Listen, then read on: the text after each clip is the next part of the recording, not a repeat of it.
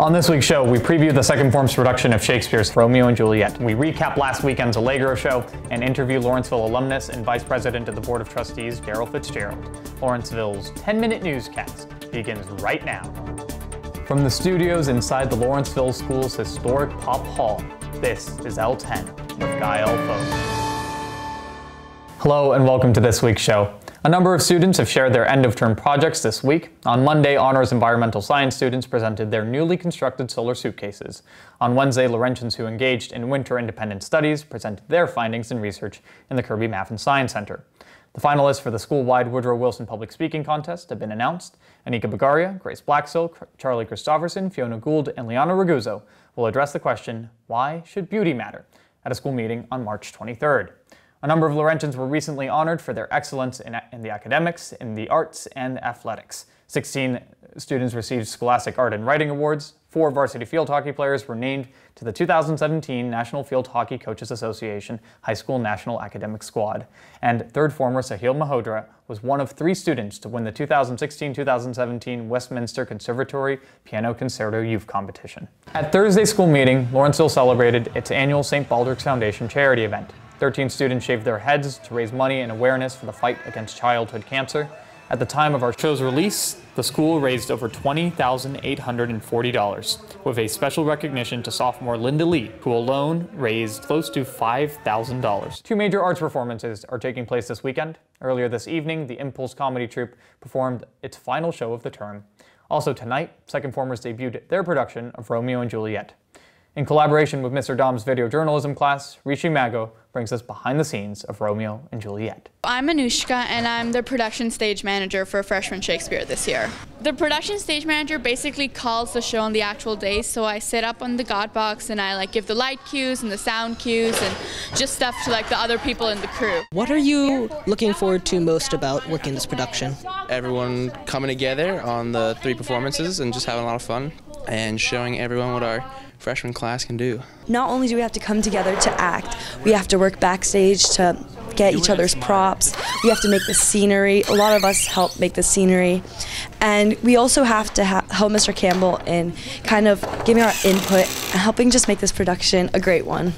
So have there been any particular challenges that have faced you in the production? Definitely been learning my lines, but otherwise it's just it's been a fun time. So the the joy of doing this kind of makes it okay definitely memorizing the lines. I don't have a lot of them, but I'm not good at memorization. Only recently did we have a technical crew join us um, to kind of round out the full theatrical perspective. But as a team, we're working very well together, and uh, uh, when we come up with a problem, come to a problem in the in the rehearsals or in the play, we tackle it as a group. It's really, really been great. What would you say is the best reason for people to come see the production? I think a lot of people are looking forward to that kiss. I think that's a great reason to come and watch it.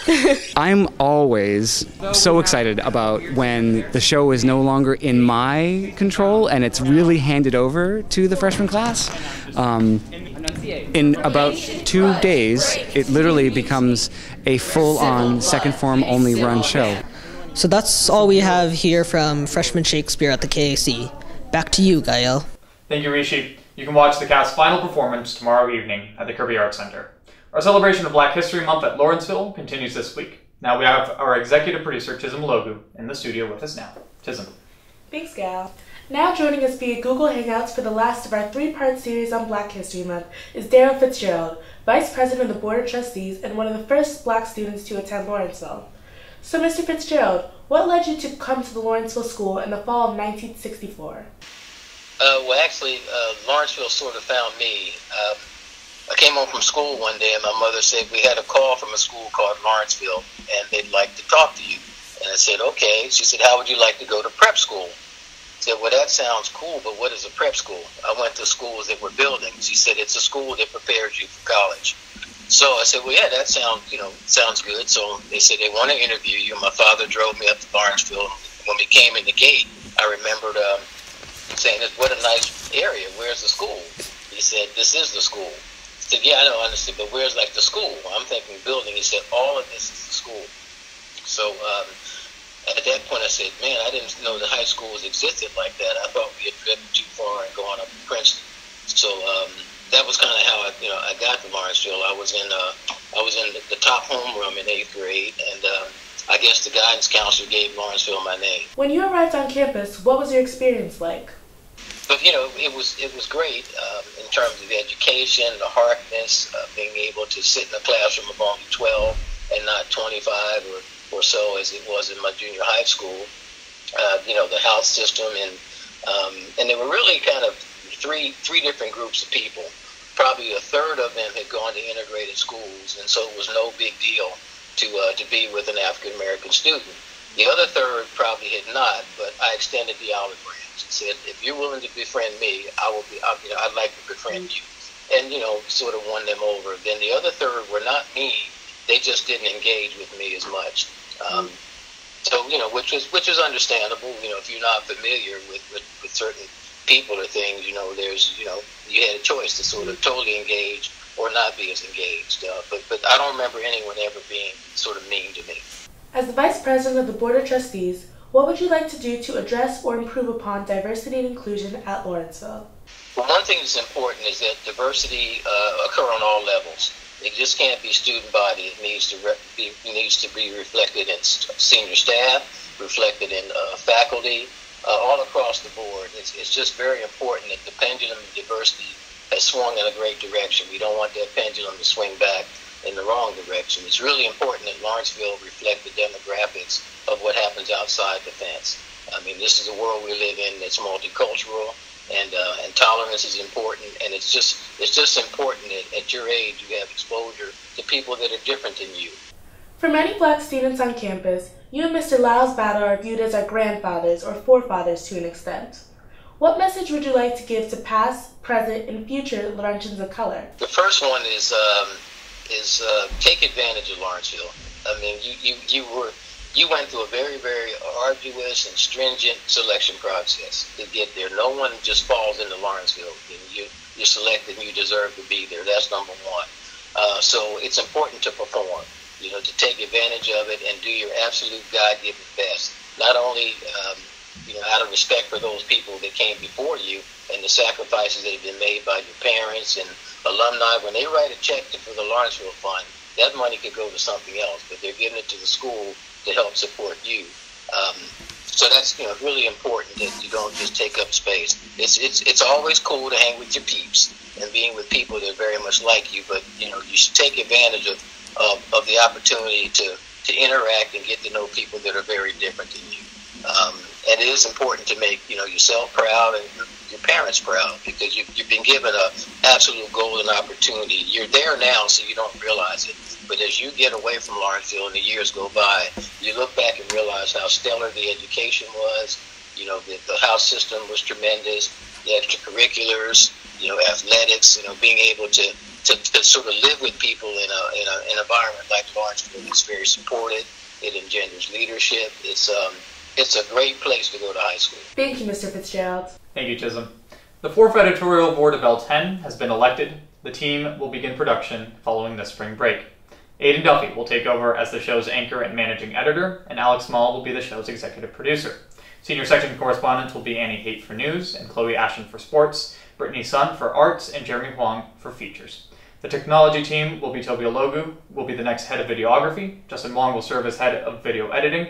Alex Sukach will head our graphics team. Christian Liu will be our head of photography. Alex Liu head our writing team, and Madeline Reinhardt will be the head of web and social media. On Saturday evening, several students performed in the final Allegro show of the term.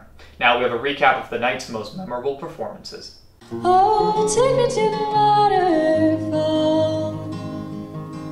I wanna feel rush again. Oh, take me to the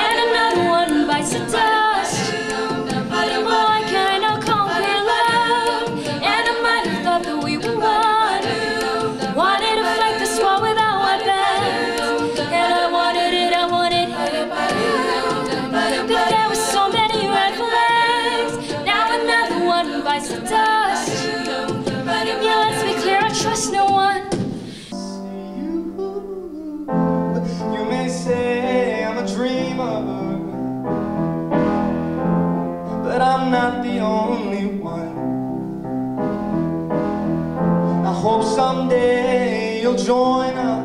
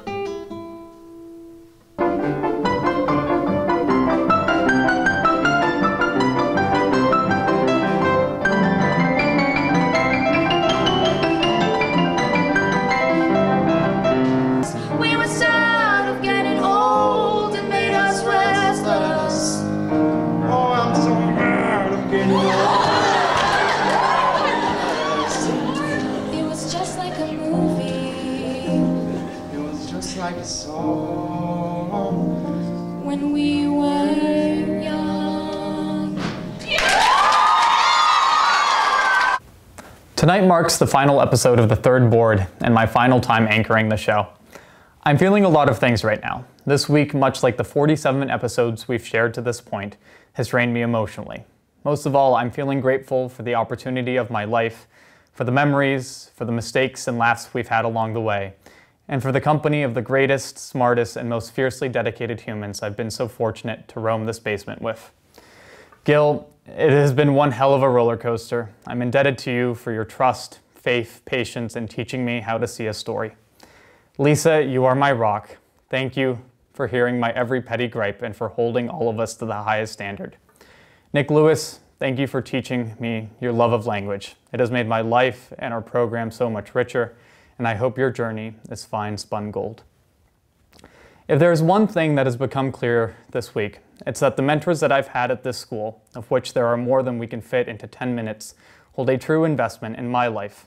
Their mark is deep and lasting, and it will carry me forward. If I could ask for one thing, it's that every student finds someone who is unafraid of committing their success, embraces their setbacks, and helps them grow. Whether they be your housemaster, public safety officer, coach, or club advisor, I sincerely hope that there's someone whom you can trust. Those of you who are familiar with the show know that we always end with all of us here at L10. So, for the final time, from Ryan behind the camera, Alex at the script, Lisa shooting our photos, Olivia keeping us social, Christian and Darren combing through hours of footage and hundreds of graphics, Adia bringing you the art in our community, Alex with the story of the day, Toby adding some spice, and Chisom keeping everyone in check. We thank you for joining us. Aidan Duffy we'll see you right back here on March 31st. Good night.